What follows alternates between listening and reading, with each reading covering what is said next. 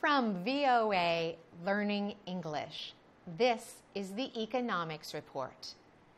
Leaders of the Association of Southeast Asian Nations, ASEAN, recently signed a declaration establishing an economic, political, security, and socio-cultural community.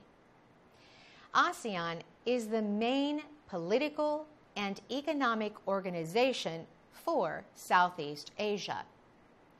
Leaders of the group's 10 member states signed the declaration at a meeting in Kuala Lumpur, Malaysia.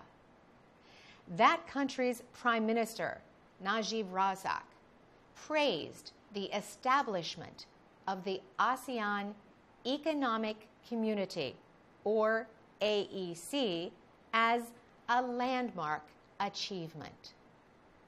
The organization will be equivalent to the world's seventh largest economy.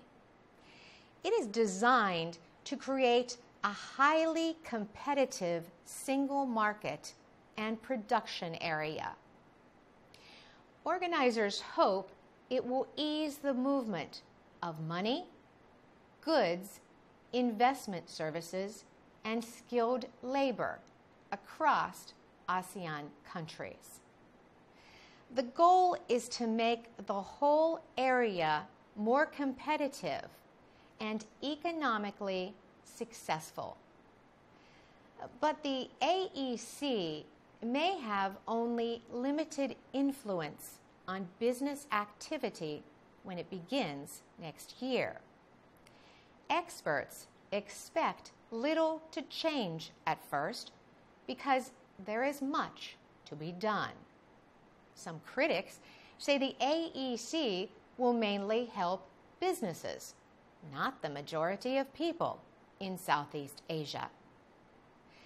Earlier this year, the ASEAN Civil Society Conference and People's Forum expressed concern about regional economic integration. In a statement, the group said such a move would mean unequal and unsustainable economic growth. This, it said, would result in worsening poverty and inequalities of wealth. For VOA Learning English, I'm Carolyn Presutti.